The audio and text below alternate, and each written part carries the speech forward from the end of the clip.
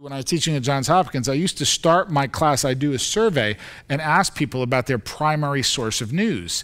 And a decade ago, it was, you know, you could kind of, it was like the New York Times and the Washington Post. But six years later, 50 students, there wouldn't be a single thing that five of them actually all read. It like this giant splintering.